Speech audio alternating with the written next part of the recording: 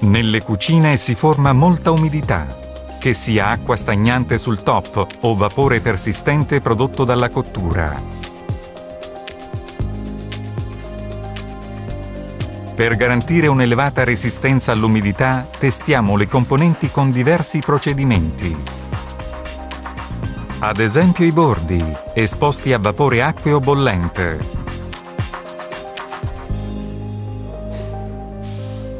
o le parti meccaniche in metallo a vapori salini molto aggressivi. E tutto questo per simulare una vita utile di almeno 15 anni.